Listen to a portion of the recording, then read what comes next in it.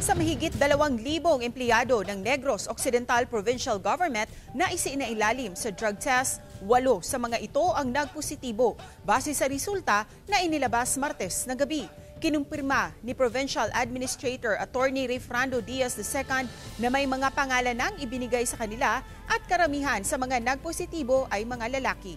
Isinailalim na ang mga ito sa confirmatory test. Maliban sa kanila, may dalawampung empleyado rin na muling ipinatest matapos kakitaan ng gray results o hindi pa tiyak kung positibo o negatibo sa iligal nga droga. Anumang araw sa linggong ito, inaasahang lalabas ang resulta.